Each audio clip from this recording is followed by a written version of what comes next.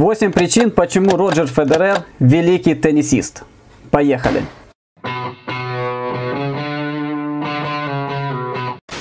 Всем привет, это Дмитрий Эдберг и в сегодняшнем видео мы разберем 8 причин, почему Роджер Федерер является великим теннисистом в истории тенниса. Вы увидите, как об игре Роджера отзывается его современник, теннисист его поколения Николай Давиденко. Как он сравнивает игру Роджера Федерера с Новаком Джоковичем и с игрой Рафаэля Надаля. Также я вам покажу, какие 10 секунд лично я считаю в карьере Роджера Федерера наиболее показательными в его истории. А также в концовке видео я сделаю свой личный вывод, кого из великой тройки Рафаэля Надаля, Новака Джоковича и Роджера Федерера я считаю лично самым великим из них. Поехали! Причина номер один. Стиль игры Роджера Федерера. Его техника, так называемый effortless style непринужденная и красивая техника. Не случайно часто Роджера Федерера называют гением либо маэстро тенниса. Роджер не работает на корте, он не мучается, он не борется, он играет, он творит. Роджер одержал много эффектных, часто кажущимися легких побед. Были, конечно, и волевые победы, но не так много, как у Новака Джоковича или Рафаэля Надаля, которые, кажется, впиваются в соперника своими когтями и борются до конца. Роджер, по моему мнению, больше склонен творить на корте и добиваться побед за счет чистоты и точности своей техники, технического и ментального превосходства над соперниками, больше, чем за счет психологических сверхусилий. Возможно, это и есть главная слабость Роджера, что он прежде всего творец на корте, а не борец. Но за игрой Роджера Федерера можно наблюдать и восхищаться. Такая легкая, непринужденная техника и позволила Роджеру устанавливать рекорды по количеству полуфиналов и четвертьфиналов подряд на турнирах Большого Шлема, не говоря уже о количестве побед на этих турнирах.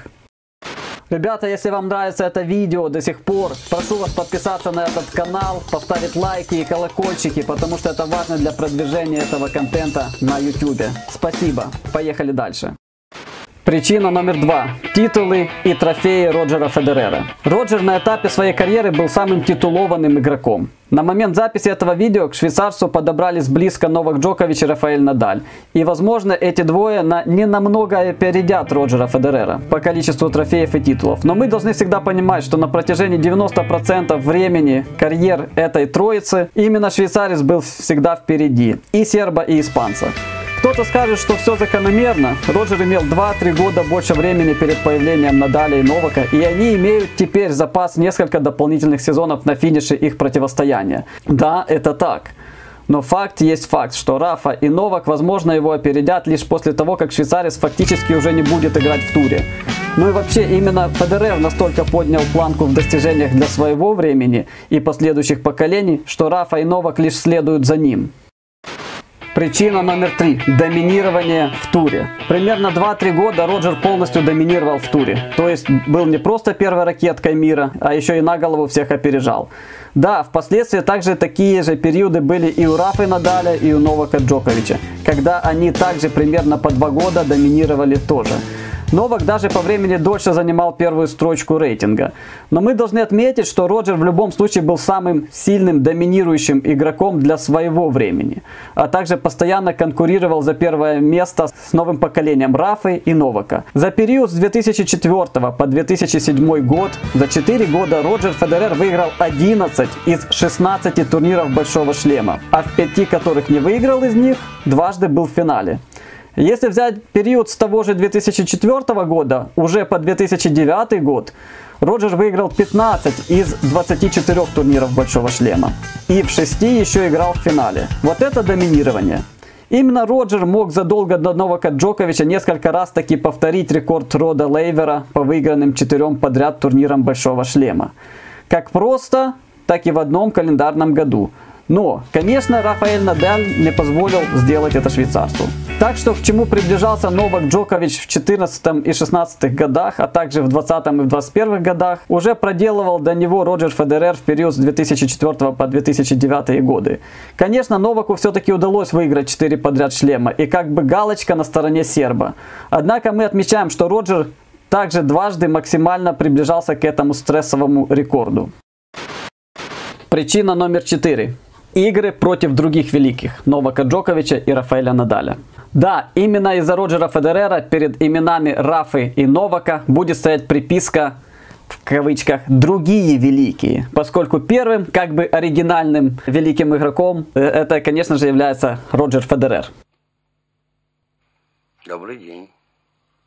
Я король. Дорогие мои. Ну окей, хейтеры Роджера Федерера и фанаты Рафаэля Надаля скажут, что Рафа имеет почти подавляющее преимущество в личных встречах над Роджером Федерером. 24 победы в пользу Рафы и 16 в пользу Федерера. Да, с этим не поспоришь, но надо понимать, что Роджер и Рафа играют в разных стилях. Стиль Рафы заточен на игру на грунте, где его трудно обыграть классической обычной техникой. Да, Рафа побеждал Роджера и на траве, и на харде также. Но и Роджер одерживал не одну знаковую победу над Рафаэлем Надалем в важных матчах. Ну и главное, что Рафа игрок, который на 4 года младше. И его как раз и готовили выигрывать у игроков, так сказать, классической техникой, а именно над Федерером. И именно это и было предназначение Рафы победить старую школу, в то время как Роджера совершенно не готовили в будущем играть с, возможно, когда-нибудь появившимся гением топ-спинов, каким в итоге стал Рафаэль Надаль. Тогда их просто таких не было. Другими словами, Роджер изначально не был натренирован играть против бешеных вращений. Швейцарец все-таки из другого поколения, но об этом чуть-чуть позже. А вот с другим, скорее всего, самым титулованным в будущем теннисистом, Новаком Джоковичем, у Роджера Федерера очень приличная статистика. 23 победы и 27 поражений. То есть почти паритет. Нету тут какого-то подавляющего преимущества. Ну и тут можно учитывать разницу в подготовке и технических примочках Новака, ровесника Рафаэля Надаля. Они оба чуть более совершенное поколение, чем Роджер. Именно Роджер очень прилично трепал Новака, который зачастую лишь благодаря воле и везению отыгрывался из безнадежных ситуаций, в которые его загонял как раз Роджер Федерер. And Roger has match point. На памяти три их важнейших игры на турнирах Большого Шлема. Две на US Open в полуфиналах, где дважды Новак уходил с двух матчболов. Ровно так же, как и в финале Уимблдона 2019 года.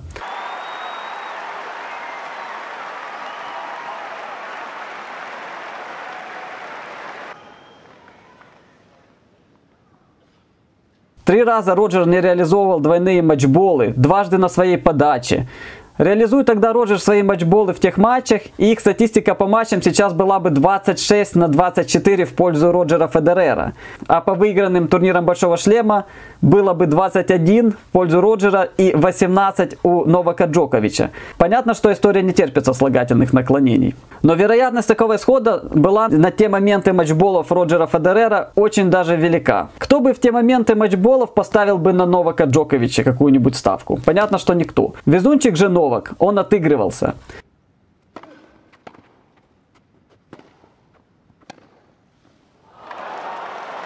Именно Роджер остановил сумасшедшую победную серию Новака Джоковича в 2011 году в полуфинале Ролан Гарос. Именно те 10 секунд после забитого матчбола от Роджера в красной тенниске и с поднятым вверх указательным пальцем, мол, подождите, молодые, я тут пока еще хозяин. Именно этот образ Роджера и есть мой самый главный в памяти момент в его карьере. Посмотрите на это видео.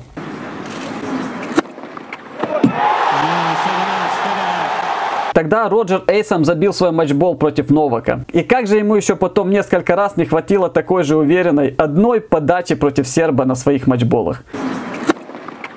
Особенно в финале Уимблдона 2019 года. Да, как я и говорил в первом пункте этого видео, Роджер игрок и творец, но, к сожалению, не очень хороший борец на корте. С другой стороны, если Роджеру и можно забросить упрек в том, что он давал слабину в напряженные моменты некоторых матчей, но также и верно то, что Роджер настоящий боец в игре в долгую, то есть на протяжении всей карьеры. Он не сдавался и из года в год держал себя мотивированным для полноценной борьбы против и Рафы, и Новака. Перерыв между его выигранным 17-м титулом Большого Шлема в 2012 году на Уимблдоне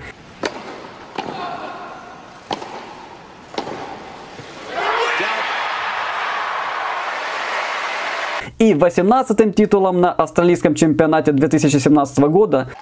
Thank you guys. Uh, составил почти 5 лет, то есть 18 турниров Большого Шлема. И все это время Роджер Федерер держал себя в форме и ждал своего шанса. Также в статистике с другими великими молодыми теннисистами из своего времени Роджер был грозной силой. Вот, например, как об игре Федерера отзывается Николай Давиденко, сравнивая игру Роджера с игрой Новака Джоковича и Рафаэля Надаля, с кем ему было больше всего сложнее играть. Посмотрите это видео. Вы играли неоднократно и с Федерером, и с Надалем, и с Джоковичем.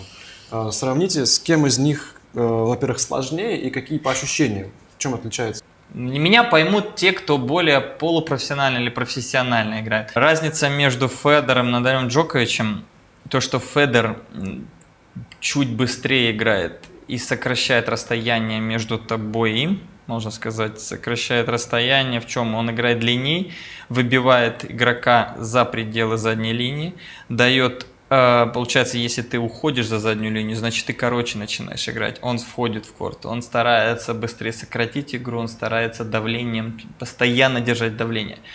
Надаль, который более свободный стоит дальше за задней который дает тебе время, который раскручивает мячи. Да, он мучает тебя, он не устает, он бегает, но у тебя больше времени подумать, больше времени создать какую-то игру. Из-за этого легче играть с такими игроками, когда у тебя есть время. Джокович старается, конечно, и так, и так, но все равно темп у него быстрее, конечно, чем у Надаля, но все равно чуть медленнее, чем у Федера. Поэтому всегда еще есть шанс, всегда играешь, чувствуешь, что у тебя есть всегда момент, ты контролируешь эту игру. Угу. Так что по-любому сложнее всего быть с такими вот игроками, как Федер.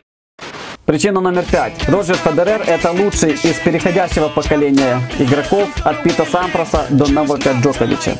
Роджер Федерер 1981 года рождения.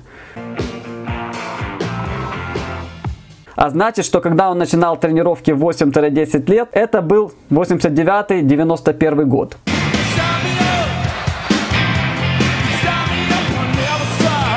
На вершине тенниса был Стефан Эдберг, Борис Беккер, Андрей Агаси, Иван Лендл, Джим Курье и вскоре появился еще и Пит Сампрос чуть позже.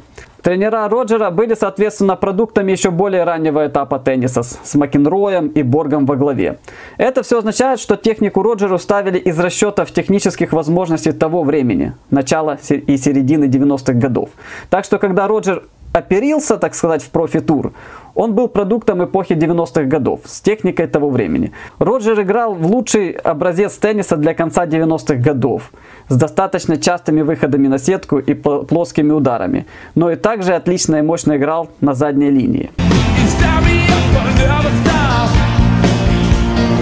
Роджер играл восточной плоской хваткой, тяжелой по современным меркам ракеткой аж 354 грамма с маленькой головой. У него были разные ракетки от 85 дюймов квадратных голова до 90. Конечно, такая ракетка и хватка не предрасполагала к топ-спинам и была предназначена для игры на быстрых и твердых покрытиях с плоскими ударами. Несмотря на это, Роджер доминировал до конца нулевых годов.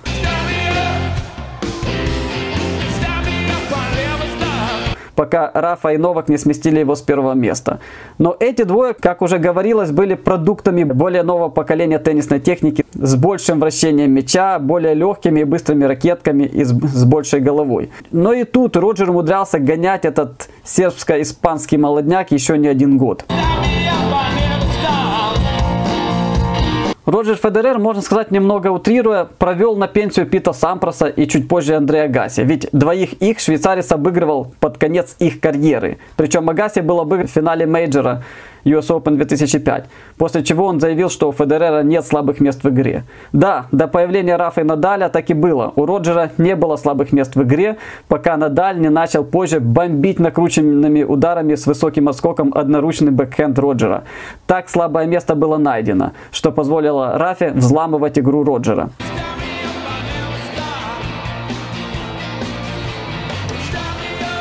Также Роджер Федерер расправился с представителями своего поколения, своими ровесниками. Это Энди Родик, молодой обладатель мощнейшей подачи на то время, и Лейтоном Хьюитом из Австралии. Факт того, что Роджер удерживался постоянно в четверке лучших аж до конца десятых годов, и при этом еще и выигрывал значимые турниры, будучи представителем старой школы, это заслуживает восхищения.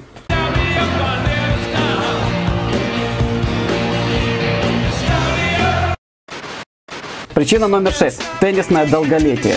Роджер уникальный теннисист из современности, которому удалось в таком для профи-тенниса большом возрасте выиграть турниры Большого Шлема и возглавить рейтинг в 36 лет и 10 месяцев. Это было в 2018 году. Это при живых Тарафе и Новаке.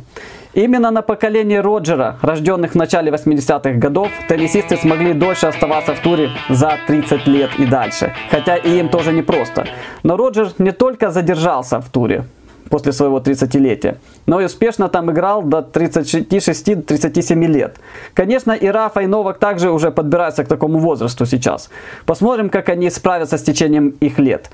Но и тут снова скажем, первым и настолько успешным был, конечно же, Роджер Федерер. Причина номер 7. Роджер Федерер – джентльмен на корте и вне его. Швейцарец – образец для подражания, кумир миллионов поклонников. Роджер не ввязывался ни в какие скандалы, всегда себя прилично вел. Он отличный семьянин, отец и муж. Его успехи имеют огромную долю и его супруги Мирки Вавринец, которая всю сознательную карьеру Роджера была рядом и поддерживала его и вдохновляла к его достижениям. Федерер также снимался в прикольных рекламных роликах и выступал образом для респектабельного стиля жизни. Причина номер восемь перчинки Роджера Федерера. Не все было так гладко. Он тоже человек со своими эмоциями. Роджер в своей карьере редко выходил из себя или терял лицо. Сколько он разбил ракеток на корте?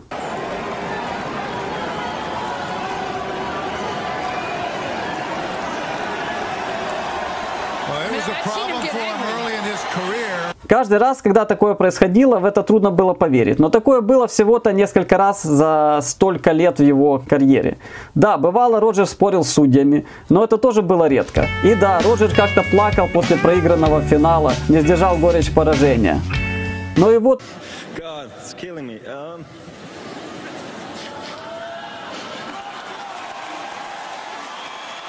Уже и Новак Джокович умудрился распустить нюни также несколько раз. Новак Джокович.